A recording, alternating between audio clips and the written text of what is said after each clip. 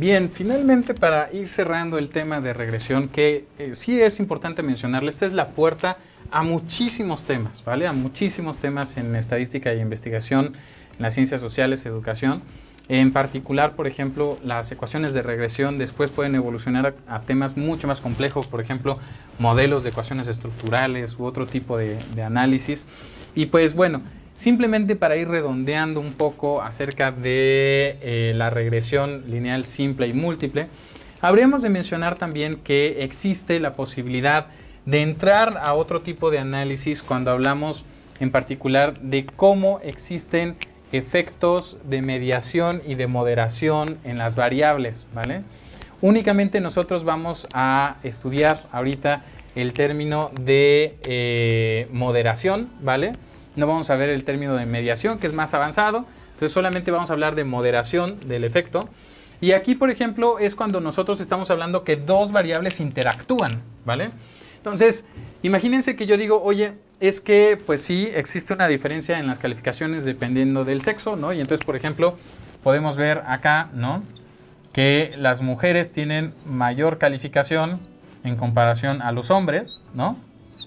En cierta asignatura. Pero yo le apuesto a que eh, en realidad esto, digamos, se ve moderado o se ve atenuado, se ve influido dependiendo de las horas de estudio.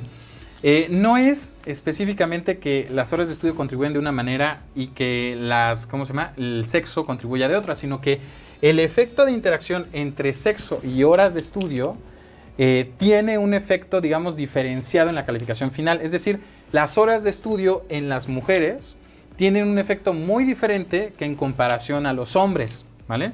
Entonces, imagínense que yo aquí, por ejemplo, vamos a dividir al grupo entre aquellos que estudiaron mucho y aquellos que estudiaron poco, ¿vale? Vamos a volver a poner nuestra gráfica de mujeres y de hombres. Pero aquí la diferencia es que vamos a dibujar a los que estudiaron, vamos a ponerle aquí, a los que estudiaron mucho. Y vamos a dibujar también a los que estudiaron poco. Si nosotros vemos eso, ¿no? Imagínense que las mujeres encontramos que quien estudió mucho tiene mucha calificación, altísima, y quien estudió poco tiene poquísima calificación. Fíjense la diferencia que hay entre quien estudió mucho en las mujeres y quien estudió poco en las mujeres. Y vámonos al caso de los hombres. Resulta ser que cuando vemos quien estudió mucho, ¿no? Tenemos algo así, y quien estudió poco, tenemos algo así.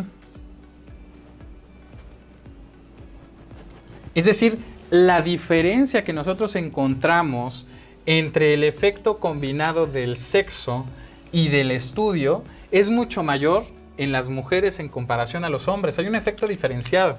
Pues eso nosotros también lo podemos contemplar cuando hacemos este tipo de análisis de regresión. Típicamente, y aquí vamos a señalar cuáles son las variables que estaríamos utilizando, estaremos utilizando calificaciones como predictor, horas de estudio como la primera variable independiente y estaremos utilizando también el sexo, que es la variable X5, como la segunda variable eh, independiente. Normalmente nosotros lo que haríamos sería poner X, perdón, Y es igual a M1X1 más la segunda que estamos integrando en el modelo, que sería M5X5 más la constante, ¿no? Si nosotros queremos ver también cuál es el efecto combinado de ambos, es decir, cómo se modera el efecto en las calificaciones, pero de la interacción de ambos, nosotros tendríamos que generar una nueva variable que se obtiene a partir del producto de estas dos. Es decir, vamos a tener que, vamos a generar una variable que le vamos a llamar una variable X, en cuál íbamos, X6, vamos a llamarle X7. Y X7 va a ser igual al producto, literalmente lo tenemos que poner en la computadora y multiplicar el valor del sexo con el valor de las horas de estudio. Entonces vamos a poner X7 es igual a X1 multiplicado por X5. Este nuevo valor, aunque no va a ser interpretable directamente como a cada tanto, ¿no? Como antes hacíamos de un incremento de 1 en la pendiente significa un incremento de 1 en esta variable. Eso no va a ser muy interpretable.